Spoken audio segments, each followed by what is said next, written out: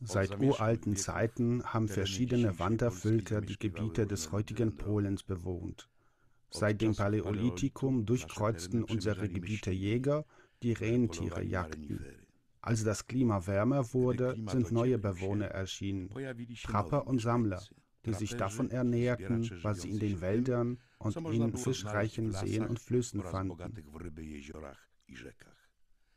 Das meist bekannte Denkmal der Lausitzer Kultur, die in die Epoche der Bronze fiel, war die Siedlung in Biskupi.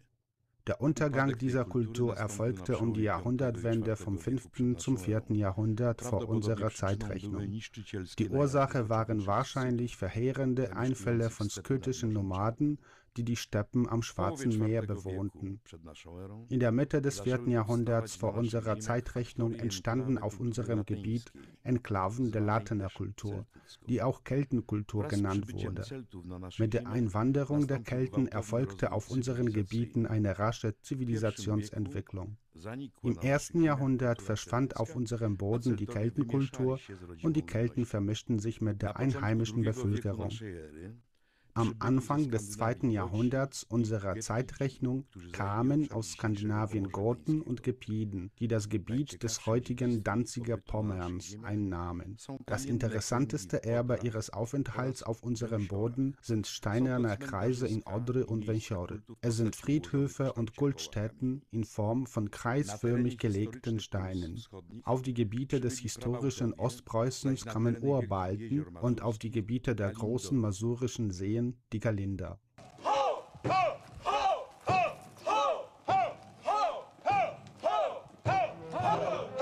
Isagus II., Herrscher des heutigen Galindiens, des auf dem Gebiet der großen masurischen Seen gelegenen historischen Landes. Wir setzen das fort, was unsere Vorahnen seit dem 5. Jahrhundert vor unserer Zeitrechnung angefangen haben.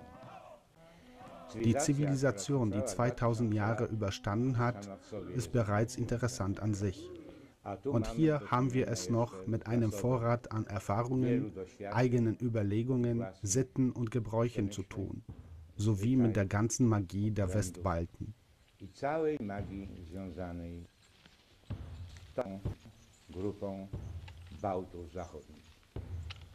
Es gab hier elf Stämme, aber die spezifische ethnografische, sprachliche und sittliche Eigenart bildeten die Sudauer.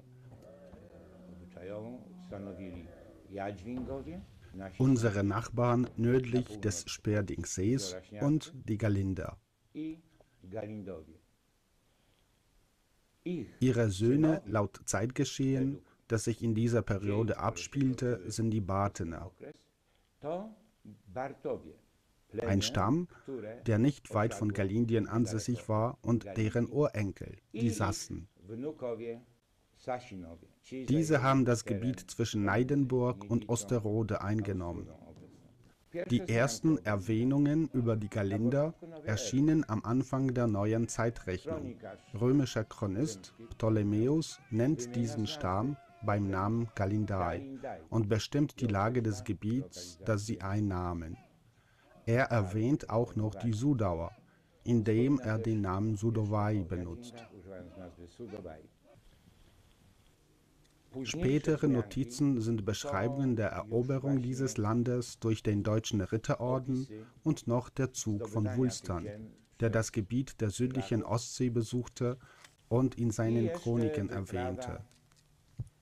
Wulstana, który obszar południowego Morza Bałtyckiego zwiedzał i opisał w swoich kronikach. Heute finden wir hier materielle Belege des Aufenthaltes von unseren Urahnen. Die Archäologen entdecken immer wieder Burgen und Refugien, wo sich die Galinder vor Überfällen der feindlichen Stämme wehrten.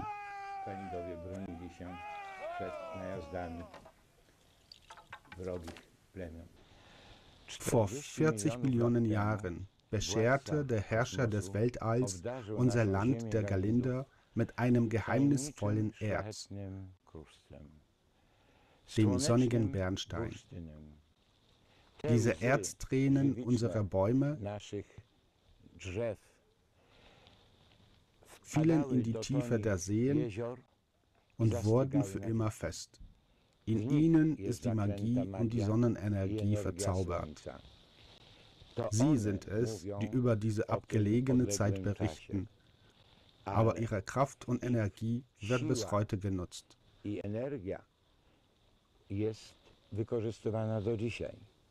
Indem wir Schmuck, der unsere Seele und Sehkraft heilt, sowie den bis heute genutzten Weihrauch daraus machen. Zusätzlich wird dieser mit allen Tönen glänzende Bernstein, Janta, Glesum, Amber in wunderschöne Schmucksachen verwandelt.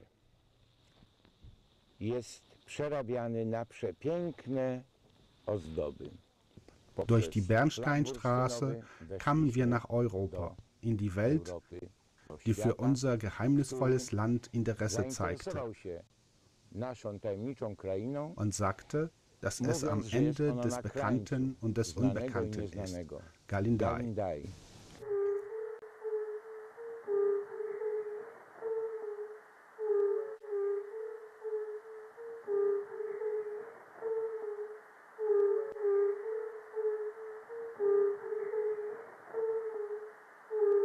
Galindien ist ein Land unserer inneren Freiheit und beschützt auch den Ort, das Haus, also diese Galinder Wälder, diese großen Seen, unsere Mutter Erde, die sie jahrhundertelang ernährt hat. Vier Elemente und nicht irgendwelche Götterstatuen. Dies ist das Wesen der Sache. Die Galinder verehrten die vier Elemente und ihre Vorahnen.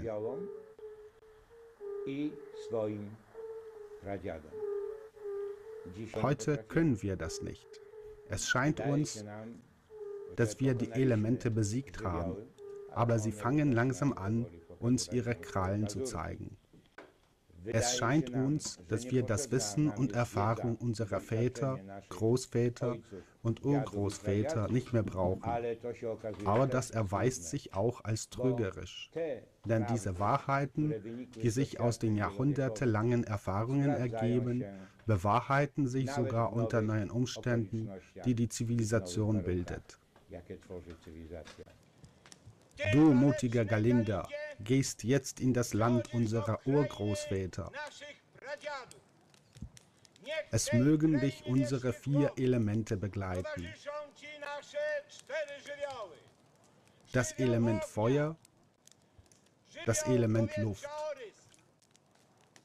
Das Wasser möge deine Schläfen abwaschen und es möge dich auf seinen Flügeln unser Beschützer, der Wind Oris, tragen. Oures! Ares! Ares!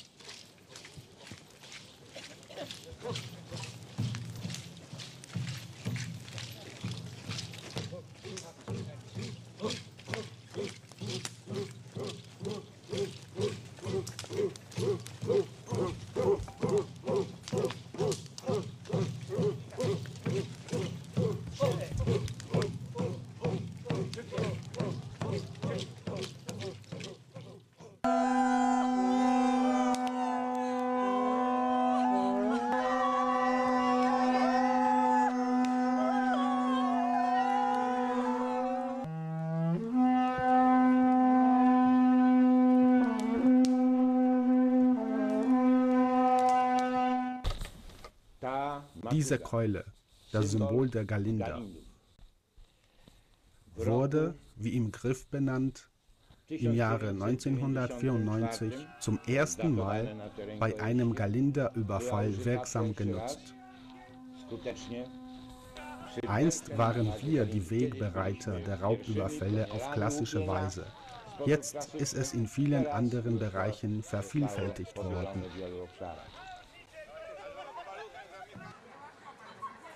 Nicht demütige auf den Scheiterhaufen, ein Teil in den Steinbruch, Unterernährte ernähren, in den Wagen, mir nach.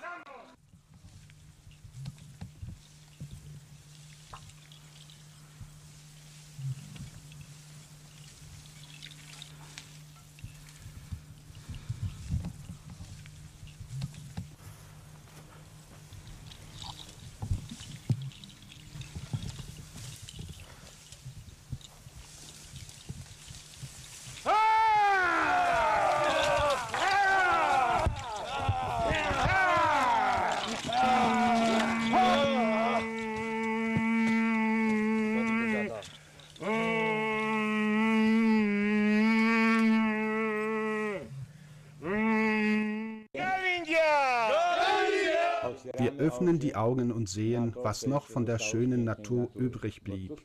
Denn was gibt es Schöneres als unsere Halbinsel? Am nördlichen Ende gibt es die herrliche Mündung des jungfräulichen Flusses Krutina, wo Wildvögel und Tiere zur Tränke gehen. Hier können wir noch diesen Urwald von Galindien berühren.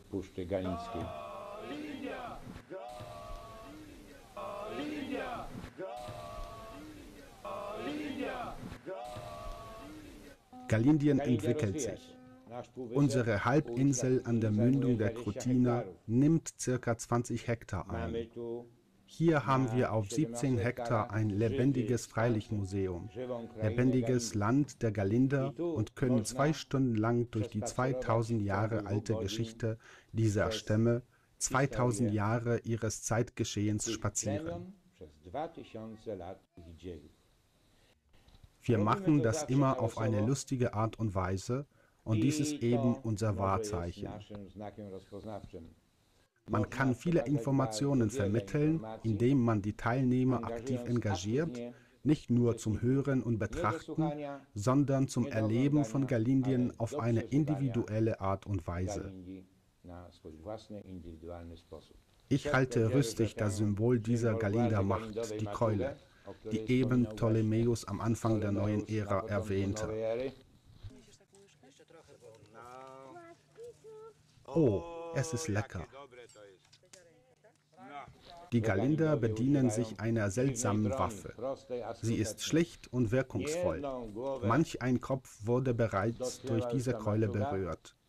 Und dieser abstehende Astansatz erreicht mit einer besonderen Vorliebe bis in das verschlossene dritte Auge unserer Politiker.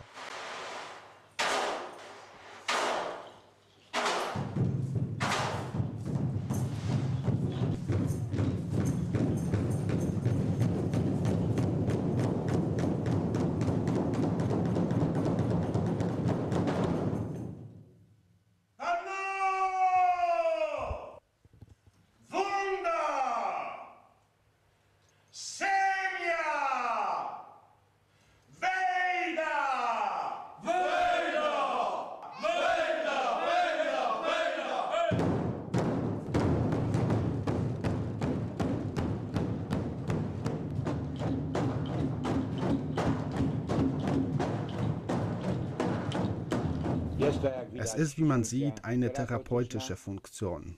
Denn als Schamane, Diplomarzt, habe ich die erforderlichen Kompetenzen und die Erfahrung. Als Häuptling gebe ich das Signal.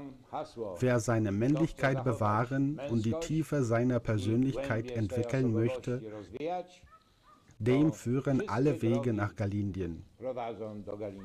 Damit noch nicht genug. Alle Wege kehren nach Kalindien zurück.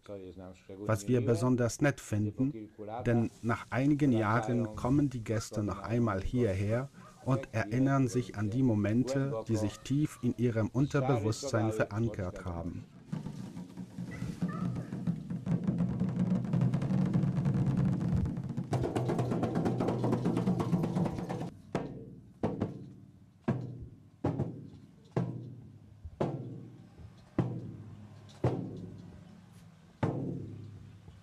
Es gibt in Galindien eigenartige Stellen, unter anderem diesen Kreis. Es ist ein von Spezialisten untersuchter Chakram unserer Erde. Hier sehen wir mit bloßem Auge, wie die Bäume, die in der Umgebung wachsen, reagieren.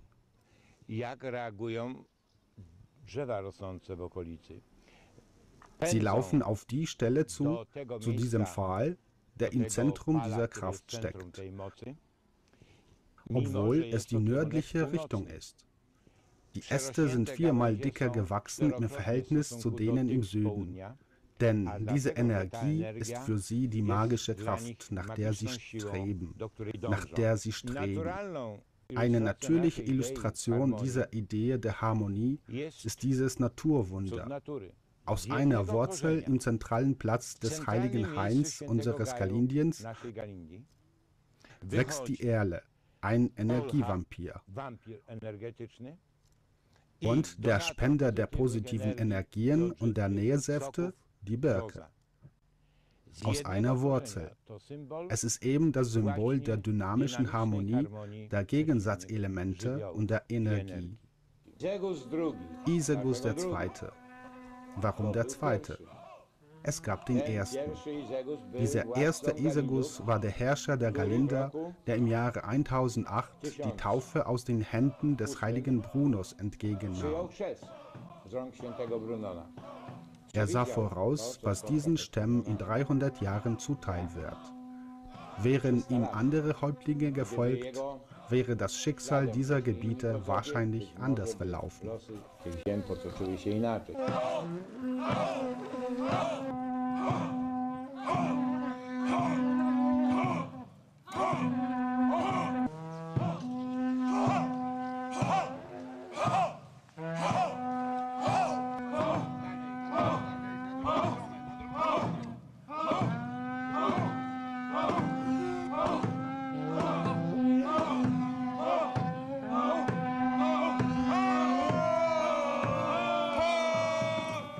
Hier am Ufer des Bäldansees spielt sich das Leben der Galinder von heute ab.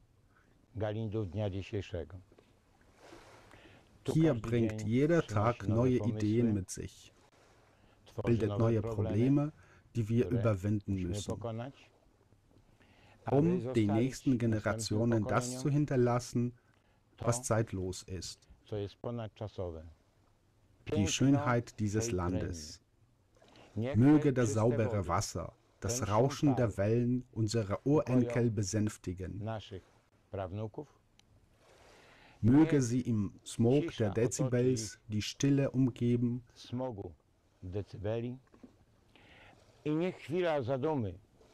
Und möge ihnen der Moment der Nachdenklichkeit bei diesen Skulpturen, die ich geschaffen habe, erlauben, sich zu finden ihnen helfen, das eigene Galindien zu finden. Denn in jedem von ihnen, in jedem von uns ist Galindien. Nur kann es nicht jeder finden. Sucht nach Galindien. Sucht nach Galindien.